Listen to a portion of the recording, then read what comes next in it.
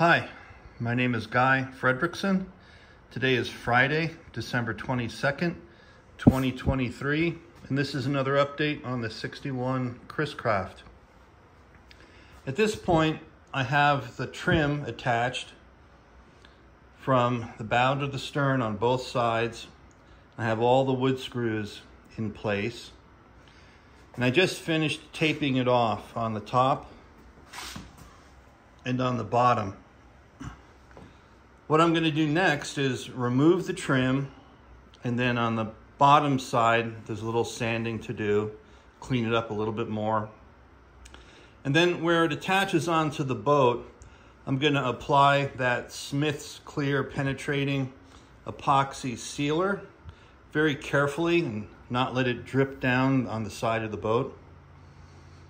And then when I reattach the trim for the final time, I'll put some Sikaflex 291 sealant, mahogany sealant uh, on the back side. And not sure yet, but I'll probably, before I attach the trim, I'll probably tape off um, both sides as well with, with thin tape, top and bottom. So that way, when the sealer squeezes out, can easily clean it up and then pull the tape before it sets. Then after that, once it's permanently attached, I have some final sanding to do and that should be good to go. And then I'll continue to work on the trim that goes along the stern on both sides and across the transom. There's some of the wood back there. And here is an example.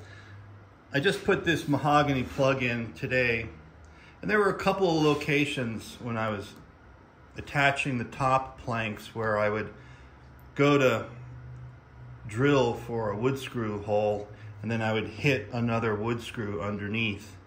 So it didn't go all the way in. And rather than re-drilling it, there's plenty of wood screws. So the few times that happened, I just left it and tonight I went ahead and did the countersink and installed these mahogany plugs. So there's no wood screw underneath that. And that happened maybe six, eight times total. Okay, that's it for now.